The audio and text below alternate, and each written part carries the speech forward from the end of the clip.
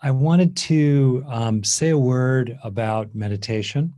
Uh, and there are many kinds of meditations. One of the things that's really helpful is to have a, a, a some sense that's authentic. It has to be authentic. Some quality of well-being of some kind, including in a sense of like a core or layer of peacefulness or well-being in yourself let alone feelings of things like gratitude or contentment or love that are quite emotionally positive. And the reason that those actually help us meditate uh, is that they uh, motivate us to practice. They kind of keep distracting, quote unquote, negative emotions, stresses sort of at bay. It's a little bit like flowers crowding out weeds. Neurologically, the dopamine that increases as we have these rewarding experiences, including fairly subtle or quite peaceful ones, like the just what feels so good about tranquility or relief or reassurance. As those dopamine levels rise, they stabilize whatever we're holding in awareness at the time, which could be a sense of beingness continuously. And in effect, as dopamine levels rise, that keeps a kind of gate closed in the substrates of working memory in the outer upper frontal regions of your brain. And as that gate closes or stays closed, distractions are kept out. So operationally, we're more able to steady the mind when we feel rested in various authentic qualities of well being. This is not clinging to positive experiences, craving them, or chasing them. There's, this, there's an art uh, that I tried to speak to in which there's an invitation, uh, a, a kind of may it arise or an evoking that's, that's really quite gentle or a turning toward, a welcoming of these qualities, and then, then helping of them to stick around so that they, in effect, become um, more and more of the object of attention. There really is a place for that. It serves neurologically, it serves the embodied basis of meditation and steadiness of mind. And also, in our sensitive, receptive state when we're meditating, if we're marinating in peace, contentment, and love, we are increasingly hardwiring those qualities into our own nervous system. So we are developing trait peacefulness, trait contentment, trait love, and other related qualities, such as, you know, trait um, gratitude uh, or the sense of just awe or delight in the moment as it is, as other aspects of, you know, contentment or satisfaction generally. We're reinforcing them why not? You know, the as it said, traditionally, the mind takes its shape from what it rests upon, for better or worse. Uh, do you want to rest your mind on stresses and worries, fussing and feuding, right? Or do you want to rest your mind on more of a sense of, you know, peace, contentment, and love, right? It's up to us in a sense. And um, so uh, it's also true that traditionally, feelings of happiness which are kind of on a spectrum that run from joy and happiness to contentment to tranquility. And feelings of bliss are traditionally recommended as factors of steadiness of mind and factors of awakening um, altogether in the in the Buddhist tradition. So these are practitioners from 2,500 years ago who are very prepared to be very hardcore you know, they probably didn't have a bed of nails back then, but they were prepared to lie on it if it would bring them to enlightenment, right? And they valued, they valued these intense experiences um, of happiness and bliss. So uh, if they valued them, we're allowed to value them ourselves. And many, I've known many meditators who kind of mm, push them away when in fact it would really help their meditative practice to open to them and receive them into themselves. Okay. So I'd like to uh, speak here about um, loss and gain and then open it up for discussion with everyone. Uh, it, um, let me just move a little window here. Very good. Okay, great. So Um, in Tibet, it is said that there are eight worldly winds pleasure and pain, gain and loss, and depending on how it's translated, praise and blame, and fame and ill repute or scandal, uh, shame. And uh, it's interesting, first, that half of those worldly winds have to do with our social life, our relationships, because that is a major area of, you know, ebbing and flowing, rising and falling, the vicissitudes of life. I want to focus here on um, loss and gain. And I want to begin by talking about yesterday. Uh, yesterday, our son, who's been living with us for a couple years, very convenient for him. It's wonderful for his parents. He's used his bedroom as a kind of launch pad for traveling a lot as a as a semi-professional dancer amidst uh, other things that he does. And uh, yesterday, we he moved to an apartment nearby, and that's a normally that would be a kind of a minor loss amidst the gains for him in living more independently, being able to kind of do whatever he wants to do in the kitchen, whatnot, at any time of day or night. But because of this pandemic, it could well be many, many, many months before I hug my son again. And it just got me. It got me. I would see pictures of him. I can kind of feel it in my body now. He's in a, even as I talk about it, little pictures of him when he was about 10 and, you know, we were in Yosemite and he's, we're goofing around. He's looking up at me. I've got a t-shirt that says Carpe Diem on it, seize the day, you know.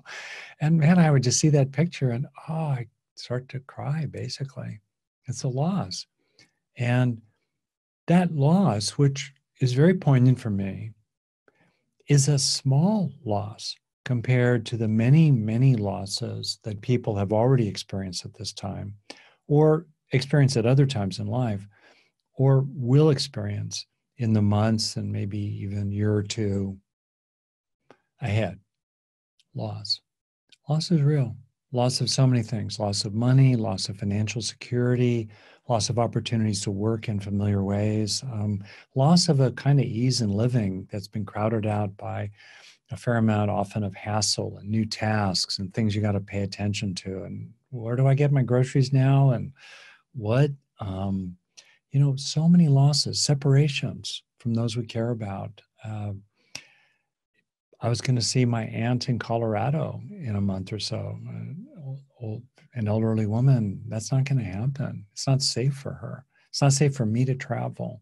Uh, so many losses. People, um, as we be here today, um, people are dying around the world um, as we practice together. Those are losses too. And so, loss. Loss is an important and inherent part of life. There's there's no escaping loss. Uh, I think uh, there's a there are these five reflections coming out of Tibetan Buddhism. A way of saying them or translating them is Is it given to me to escape aging? Is it given to me to escape illness? Is it given to me to escape dying?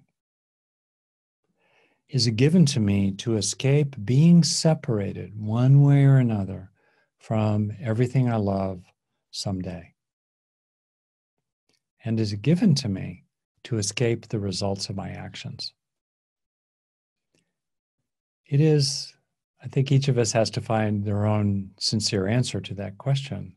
But I don't think it is given to us to escape old age, disease, and death and the loss of so much of what we count upon.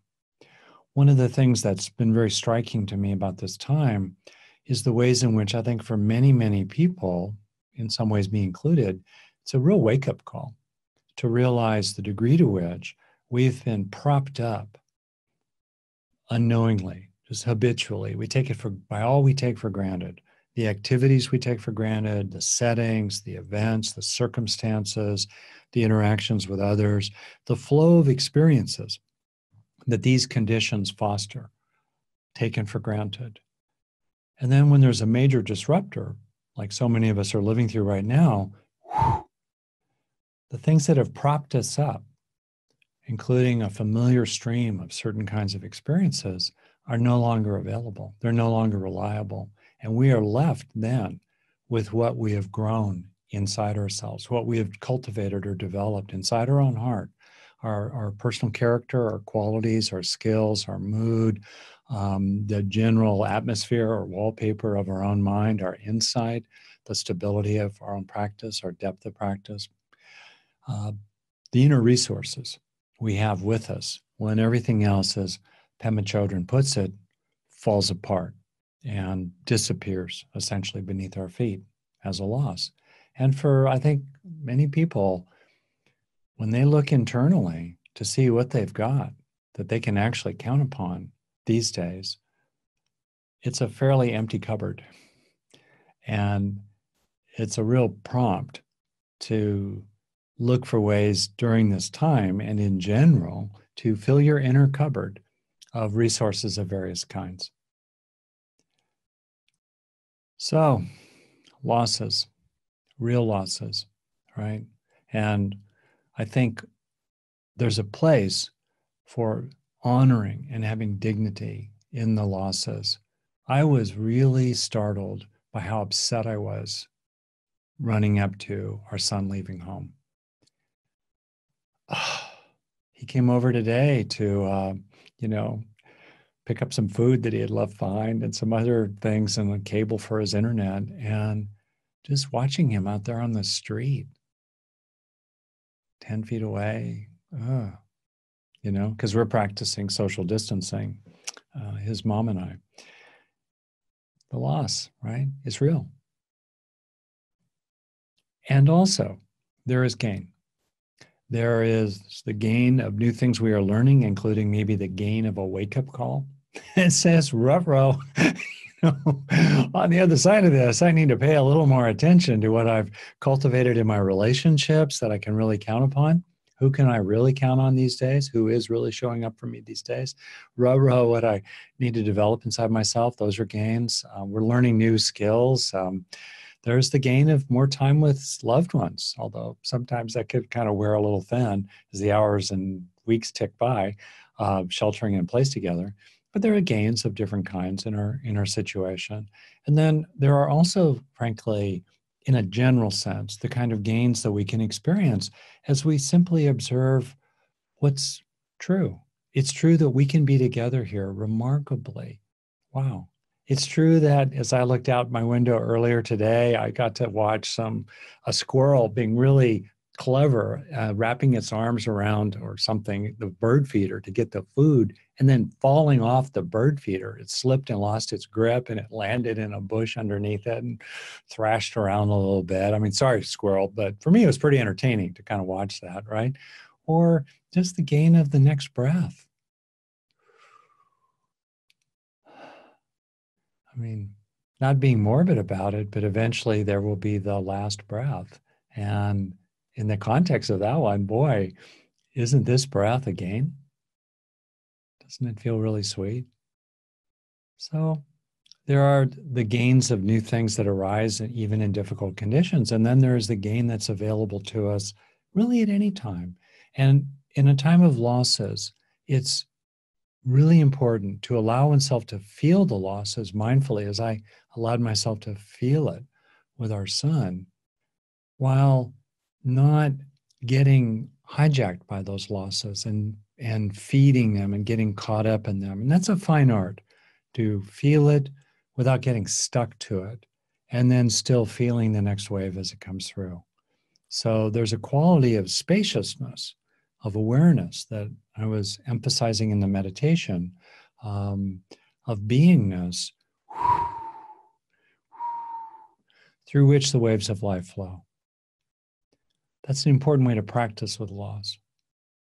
Meanwhile, it's particularly important to look for the gains in a healthy sense, to take an extra beat or minute, as I've been doing more and more with my wife, and thinking and saying to her really basically if i'm going to be stuck sheltering in place i'd rather it be you than anyone else you know in the world right?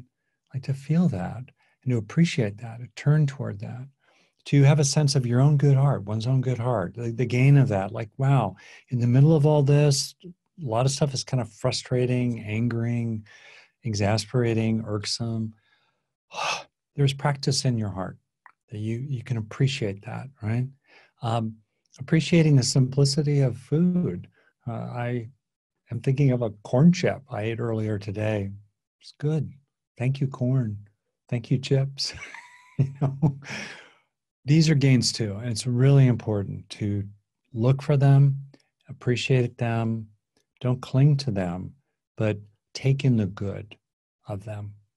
It's more important than ever. And in the internalization, for that extra breath or so, staying with that experience, keeping those neurons firing together so they wire together, in the internalization of what we are beneficially experiencing, then we can really help ourselves gain from it in ways that are beneficial and wholesome as we cultivate these qualities increasingly inside ourselves.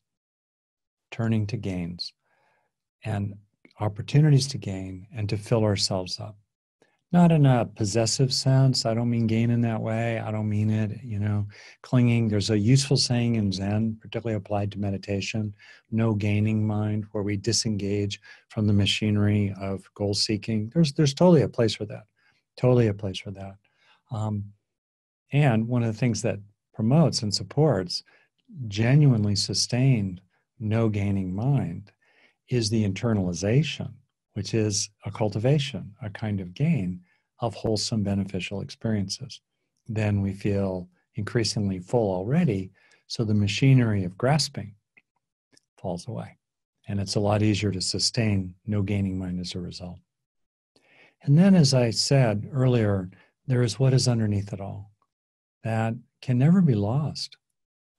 In other words, awareness is ongoing. There's even a kind of awareness while we sleep. If you're suddenly awoken, you can be aware of what you were previously momentarily aware of the, the previous few seconds. There's, there's some sense there. So there's awareness there. And certainly while we're awake, there's a continuity of awareness.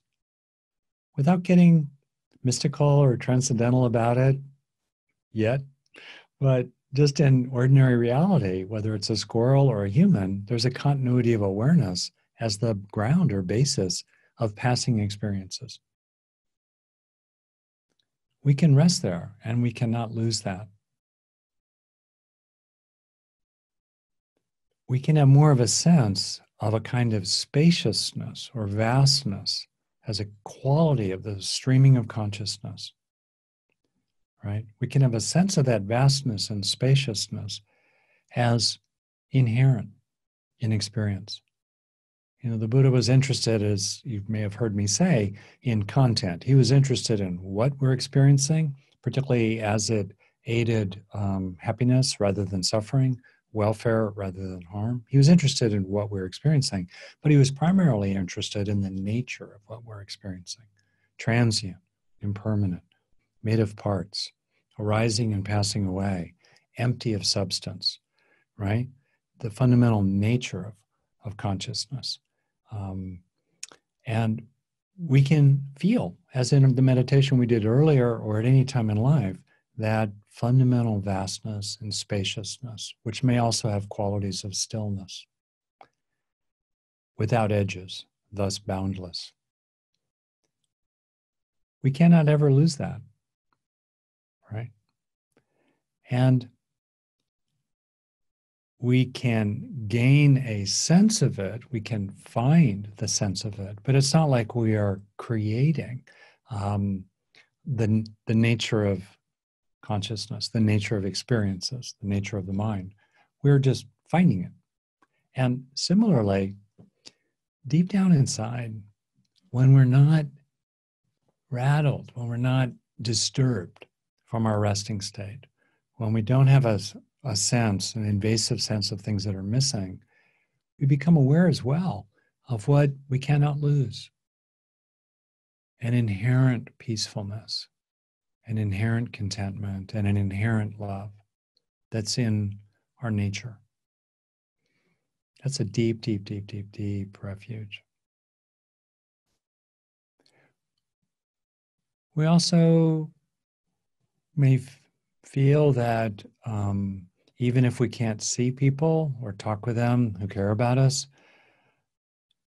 we cannot lose all the good that has ever been between us. Um, even though our son has moved out and I can't hug him today uh, or get a hug from him, um, I cannot lose all the good times we've had. They will never not have been, right? And those in our lives today who we know have goodwill for us. We might bug them sometimes, they might bug us sometimes, but there's fundamental goodwill, there's fundamental caring, there's fundamental respect, there's fundamental support. That's not going away. We can count on that as well. And so, as I finish here, and then I want to open it up to uh, your own comments and your own questions and you know so forth. Um, in this time of loss, in addition to turning to um, conditions and events and experiences and appreciating what we can gain from them, which is more important than ever in a time of falling away, a time of loss. In addition to that, we can really help ourselves rest more and more and more, at least in the background of our experiences, in the background wallpaper of our consciousness. We can rest more and more in a sense of awareness itself, spaciousness, vastness, and stillness as, an inher- as inherent aspects, as well as we can rest in a sense of peace, contentment, and love as inherent aspects of who we always are.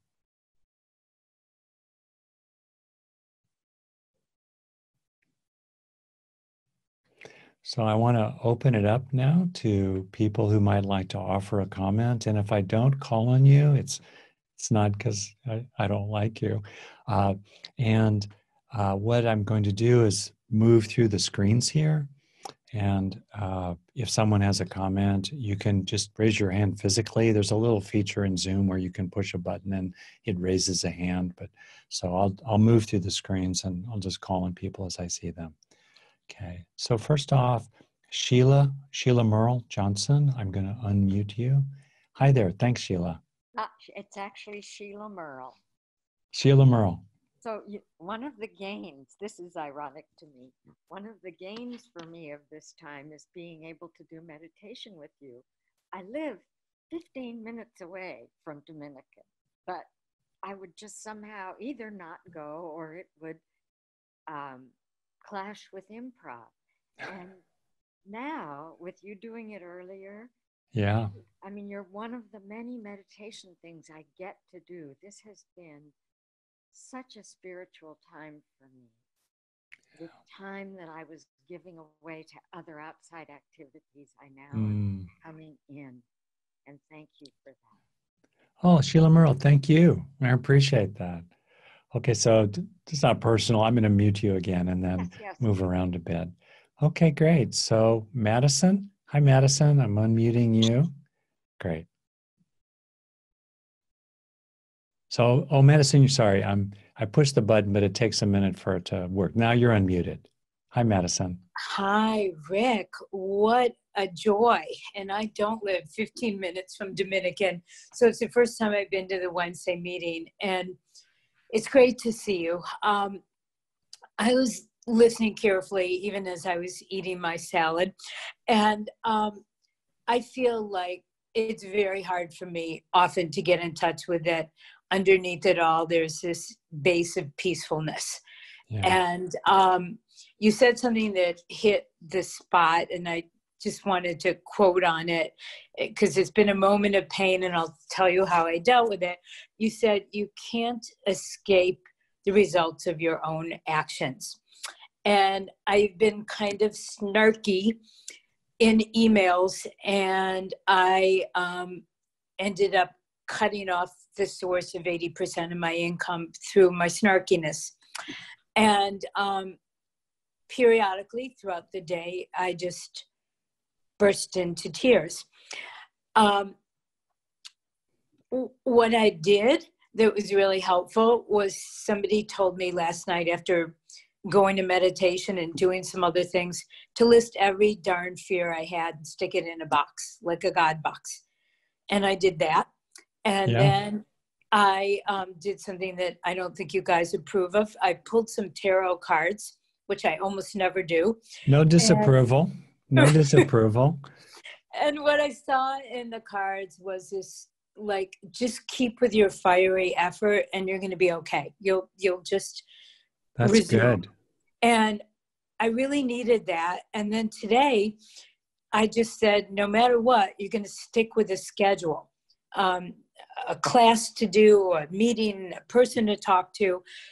And it's really helped. And it's been very unglamorous stuff, but I'm I'm still in shock and I had never heard that phrase that we can't escape or we thought we could escape yeah. the results of our own actions. And um, if you uh-huh. had more to say on that, I, I'd, I'd really love it. And I'm, I'm trying really now to, yeah. to come to peace with it, not go to self-hatred, not go to self-pity, and yeah. just um, swing in there. Well, good for you, Madison. And let me speak to that if I could, and I'll be brief just to make sure we have as much time for everyone as possible. By the way, people have been uh, offering comments in the chat, including some suggestions for how we do this. Um, uh, and I appreciate those. We will take them into account. Uh, going forward, we will likely set up a situation where groups can form after the formal ending say at, at half past the hour when we'll when we'll finish. And then you can form little groups and including we'll find ways hopefully for people to form groups with those that they know. So i'm going to mute you now madison. Um, speak briefly to this. So uh, one of the things that is um, really good to appreciate is we also i mean we in we in yeah okay. So, um, two things. One, a definition of karma that I found really amusing comes from Stephen Gaskin, who taught a class called the Monday Night Class and in San Francisco in the 60s, maybe 70s. And he said karma is like hitting golf balls in a shower. All right. Uh, so we're acting, whoop, and then whoop, the ball comes back for better or worse a little detail sometimes other people have hit a ball in the shower and we uh, rush in to catch the ball and uh, maybe after a while we should just sort of let it go by and let there be a natural you know learning for that person uh, let's say. Uh, but in any case we hit balls in the shower and we hit different kinds of balls. Uh, and uh, one of the balls we hit in the shower is our own practice. We do inherit the results of our practice right? Which is great. We can um, we can do more with our own practice, right? When we practice today, including ways that we physically change our body, notably its brain, uh, through our own practices, and that can be inspiring to us um, to keep on going. So that's, I think, something to really appreciate. The other side of it is to face the, the things that we've done that we have to live with, and some of them are irrevocable and to appreciate that, to use a metaphor, if we are like a pond in our nature, the things that we have to deal with are like ripples on the surface of the pond. They pattern the pond, they are an eddy in the stream of the pond. Okay. But what we can do, even as we face shame for things we've done or remorse, or we just face the sadness of roads not taken or uh, too late now or that person will not repair with us or whatever it might be. Um, you know that is just part of the whole. It's never the whole. The whole is the whole. The whole is the whole of consciousness opening into everything. And it's really for me it's such it changes everything when we experience being the whole in which sorrow or remorse or regret or disappointment pass. And we're not suppressing the sorrow or disappointment. We're not trying to stop any ripple moving over the surface of the pond. We're simply exploring what it's like to abide as the pond as a whole. which as a whole is stable, isn't it? And we can take refuge in it. And for me, this is not abstract or esoteric. It's it's practice. It's being the whole of it all. You know, um, opening into everything and and feeling everything rippling back through us as us. Okay. And it helps to uh, learn the lesson, you know, as uh, Suzuki Roshi put it, you're perfect as you are. And you could lose a little improvement. so, okay, I'll look for another person with their hand up, maybe in a different screen. Yay, Rick, I've been wanting to call on you for a while. Hang on. So, Rick, um, great. Thanks, You're unmuted. Thank you. Um, so, a couple things. Um, on, the, um, on a note of gratitude um, for the gift of breath and breathing particularly as it relates to COVID, which affects respiration. Um, you know, when folks experience that, they, you know, in some cases have to be supported with um, with a respirator. So yeah. I, I don't know this, uh, but just sitting here with you today and and and this group, it's it's um, it's a profound thing to to be able to just breathe and to be grateful for for our breath. So that's one thing. The other Thank thing. Thank you. That's beautiful. Thank you. Thanks. The other thing that um, that I've been experiencing is, as it also relates to the breath, is that I um, I'm sensitive to the notion of letting go, and the and the notion of of releasing, uh, particularly negative emotions, and and I seem to associate that with an exhale. Mm. And I, I don't, it may be unique to I, I don't I don't know, but um, I think my tendency is to focus um, more so on that than what you sort of in, in, um, enlightened me to this evening. And it's not like you haven't talked about it before, but the whole idea of sort of opening into allness and opening into a sense of everything that's happening in every moment. And and so uh, what I experienced or what I noticed is that I can uh, get a sense for that on the in breath. oh, that's funny. So yeah, I mean, I think Thich Nhat Hanh, just to step step into it there a little bit, Rick. Um, Thich Nhat Hanh, I think, he has these very beautiful meditations where, you know, as I sort of like I breathe in the world and I breathe out love, you know, breathe in the world, breathe out love, or things like that, maybe related to steps. So that sounds great what you're doing there. Really interesting. Well, and it's it's like um, instead of just kind of letting the emotion go, it's like also getting in touch with it and being willing to sort of be okay with it. Yeah. You know? That's great. That's beautiful. So, you know, he talks about it, you know, breathing in, I am home, breathing out, I am home. I mean, he has other beautiful phrases. Well, Rick, thank you. If that's okay, I'll, I'll go to one more person just to try to, you know, have as many people as possible. So I'll, sorry about that. I'll mute you now. And um, Trish L, where are you, Trish? You had your hand. There you are. I'm going to unmute you. Unmuting Trish L. Great. Okay.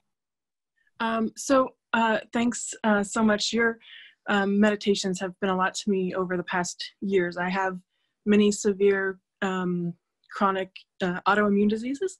Mm. And so for the past two years, I have been mostly bedbound. Yeah. And um, just in January, I started recovering and was able to get out and do things. And now I'm quarantined again. and so, you know, I kind of look for what are the opportunities here? And so the opportunity is to um, spend more time finding my inner peace and joy and making peace with the fact that I have no control over anything at all. Um, but one of the things I also wanted to encourage people is one of the opportunities out there is for people to connect with others who have like me many um, illnesses and and we're stuck indoors and we know how to be quarantined. Like i am a master at being quarantined wow. So That's... You know, it's it's been a blessing to me that some of my friends have connected with me and said, How do you order groceries? How do you get this? How do you do this?